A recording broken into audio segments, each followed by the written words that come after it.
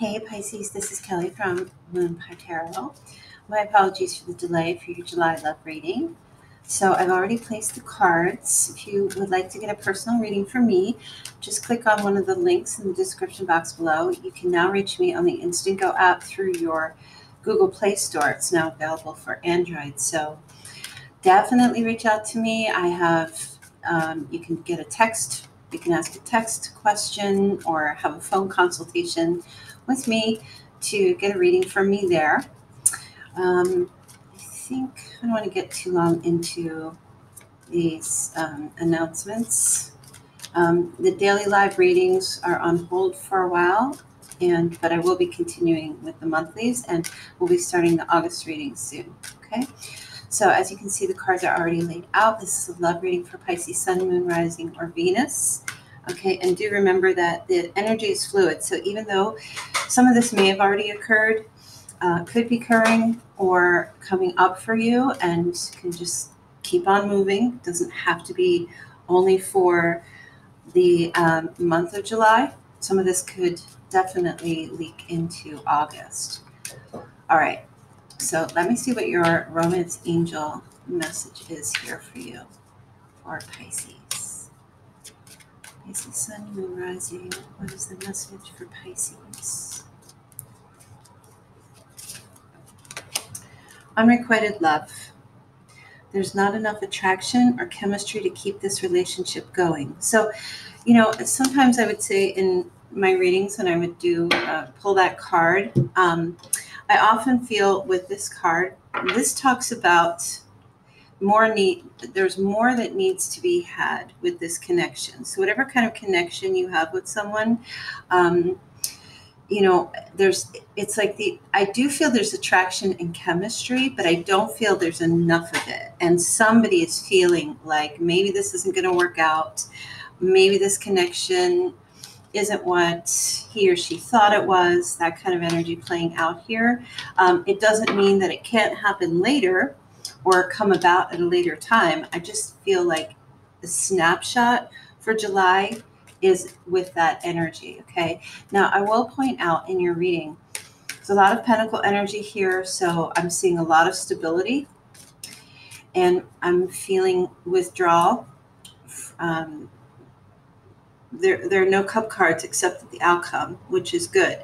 So I feel the focus mostly for Pisces for July is probably due to work or finances or career issues or things going on um, in your life or with another person or theirs or both of you where there isn't time for this relationship. There hasn't felt like there's been time for this connection. Either somebody is working too much or there's school or there's just like crazy responsibilities um, that either you or the other person has or just even if you don't have anyone in your life, it's just like love is not on the table. Okay. The past position is the Seven of Pentacles. So somebody here really focusing on what they're doing in their life as far as work, as far as their money, their investments in the past. Um, not thinking about love, not thinking about relationships, commitments, any of that jazz. Just, it's like, where do I go? What energy what where do i put my money? Where do i get a new job? Where do i do i change my career? Do i add more? Do i do i keep um, do i keep do i not add more? Uh, how do i it's contemplation thinking about a life path thinking about um, what needs to be done here. Do i rob a bank? Do i ask for a loan? Um, you know do i have enough finances? Do i have enough? Are my bills paid? Is are my you know my investments are things getting better? Do i need to do more? It's a, a lot of that energy was playing out in the past with someone or it was you pisces where it's just like i can't be focused or we can't be focusing on this relationship stuff right now. I need to get myself situated. I need to get stable I don't feel stable. Uh, you know, also I'm hearing contemplation. Somebody maybe loaning money or paying bills or is paying somebody else's bills, um, or thinking of asking for help.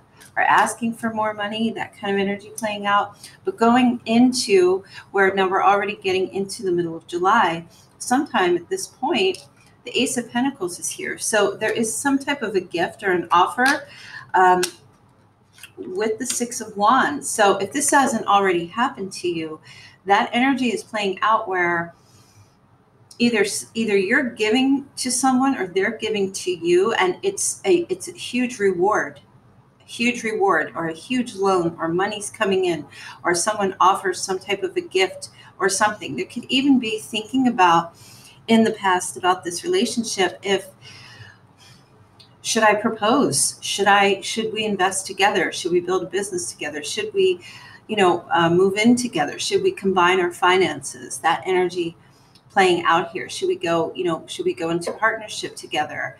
Things like that. And i feel it kind of it, the potential for it begins to happen sometime in july. Could be going into august as well. There's much conflict though driving this this reading, and there's a lot of um, competition here as well in this connection. Um, either you're competing with one another, or you have, um,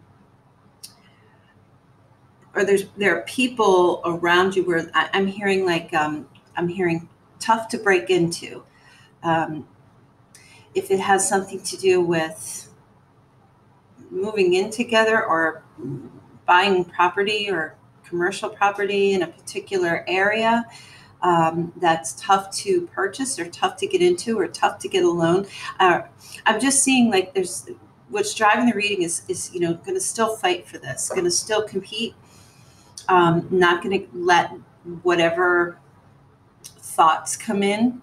Okay, even fighting for this connection, even um, eh, because this is a love reading, even competing against other people to make this work even though okay because i was really feeling i feel like there's an element of of money playing out here as well but even though in regards to the unrequited love situation there's also an element here of um, still wanting to fight for this connection somebody wanting to fight for it to try to make it be rewarding okay um, thinking about okay well in the past, you know, we're missing a few pieces to the puzzle here. There is something here. We do feel this connection with each other, but we're there's still some things missing. There's not enough. We do we need to add more? What do we need to do? And so as far as love goes, I do feel that that energy starts to actually begin to come forward for both of you where it's like, you know what? Okay, Right. Got it. Whatever we have going on, whatever the issues are, whatever our, our struggles are, it maybe puts our love on the back seat or the back burner.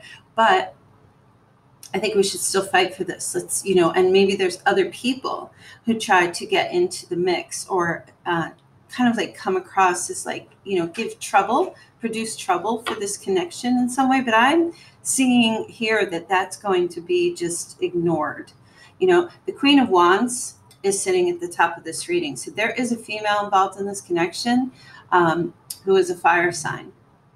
Okay. Uh, Aries, Leo, Sagittarius. She's at the top of this situation. So whoever this person is for you, um, she might be connected to someone that you're connected to, or it's just directly connected to you. Um, I'm going to pull a clarifying card here just to kind of see. It could be a male as well who's in their um, more feminine energy, where, you know, maybe you have this person on your mind or this is the person that you're dealing with. Um, let's see what energies are for this. Okay, death card. Hmm. There's some type of transformation and this is crowning, so it's like overriding this entire reading. The death card can represent scorpionic energy as well. Um, there's quite a few players in this situation. Okay, we do have the King of Wands, Queen of Wands, and the Queen of Cups. So I feel like this Queen of Wands, whomever she may be, is going through some type of transformation or letting something go or trying to change something she could be helping in some way, but she could also be hindering Okay, so you might want to keep your eye out for the energy of this person. She could have a negative influence. Um, her journey, whatever her journey is that she's passing through right now, she's going through. Uh, it could be like letting go. This could have been someone in your past um, that you were connected to that passed away, who you have been asking for blessings from uh, to, you know, kind of oversee and, and help you with um, whatever your struggles are in your life at this time. Um, this is not predictive of actual death coming forward. I don't feel that at all. I feel it's more um, there's a passing that has to do with this Queen of Wands. Okay, this could be you too in some way where um, you are maybe trying to change up your tactics and the way that you present yourself to people. Uh, making some transformations and changes in your own life, transitioning from one um, thought process to the next, your perspective, I feel um, as well. Now, going forward with the Four of Pentacles, there's an energy here of um, mm, a tight grip. I'm hearing a tight grip. Somebody has is keeping a tight grip. Um, because it goes from the Seven of Pentacles back to the Four here. So past and near future. And I feel like whatever was being contemplated about this connection here and whatever somebody was thinking about trying to fix, they're now in this position where they're holding tight. I don't feel like whomever your person is wants to let go of the money or let go of this connection, let go of this business, let go of whatever financial things you have. There's an energy here of um, possessiveness as well. The Empress is here. Somebody's not letting go of their mother. There's an energy here of um, you may have someone if you're a female, that you have someone, a male that you're dealing with who's got a very tight bond with a parent, or a female or an ex who has children or is a mother. Um,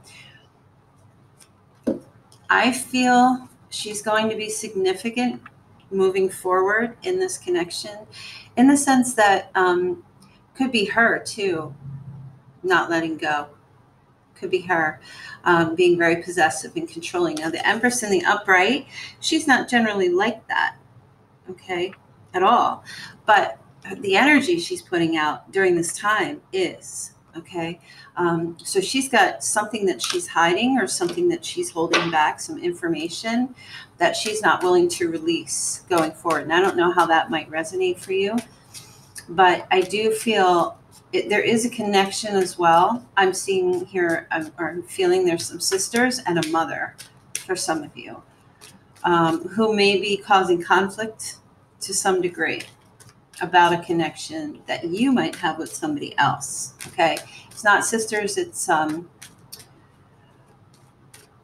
there's one, I feel like for those of you who are dealing with sisters or other females, there's one who's going through a massive change in her life and there's one, oh, I'm sorry. There's one whom you admire quite a bit. Okay. Reminds you of yourself. There's some type of uh, connection with a female who um, gives you a lot of hope. Now, your position here and your advice to stay in your generous, but don't give too much information. Don't try to keep the peace, try to keep things balanced. Try to be as um, slightly generous. Do the whatever your duties are that you have that you must do each day, keep doing those. Okay. Um, and to not be in a place of selfishness because there's, I feel like there is someone here that could be like a mother or, uh, whomever, however the connection is, who might be accusing you of being very selfish and greedy. And your advice here is to show that you're not, but you don't have to like kiss ass. I don't feel like that's your position here. I feel like you are in the place of showing yourself. You're keeping the balance. You're doing what's just and what's right. And you're giving, but you're not over giving. Okay. Um, which is very good it's because I don't see you in this position of saying, you know, whomever is accusing me of doing something, I don't have to prove anything to anybody. Okay.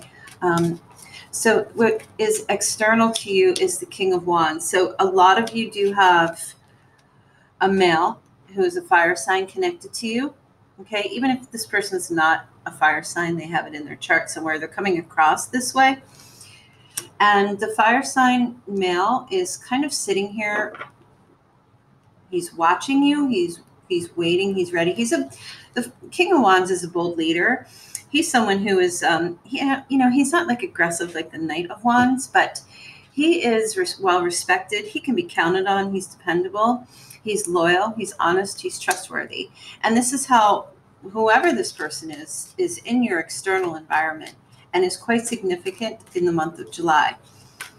This person might have a birthday in July, the end of July as well. Let's see. Well, it's just coming up to me. Okay. This person is has surrendered. Sorry for the um I think my camera is kind of like stopping and starting. Um, this person has surrendered to something. They've been defeated. They um, have given up some type of a fight they're giving up some type of a fight. They're no longer. Um, it, it's nothing but. You know, how can I say this? Um, the the battle is over, and there's nothing but promise on the horizon for this person. I feel like this is how they feel. And so, what I feel like is happening here is they're watching you. They've got their eye on you now. Um, whatever issues or things that may have happened in their past, they're now ready to move forward and let all of that go. Okay. You are coming across as the Queen of Cups in your hopes and fears. And so um, I see you really hoping that you can maintain your watery element within yourself where you can be eh, maintain your intuition. I feel like you have some moments where you fear that you can't trust yourself or you're doubting yourself um, during this time and just kind of you have these little thoughts or these doubts or things that creep in and they kind of like make you feel like questioning yourself. Am i doing the right thing? Did i do the right thing? Am, am i going in the right direction? Is this what i want? Maybe i should rethink this. Maybe this why did i do this but you're hoping that you will just keep maintaining that energy and trusting yourself. And I feel it's very good. Your outcome is beautiful. You have the Six of Cups with the Nine of Pentacles. So, some type of a wish here for your financial stability and reconciliation.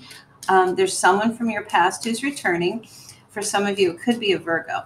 This person, whether it's a Virgo or not, uh, this person is going to provide for you. And I do feel like it is a female. Okay.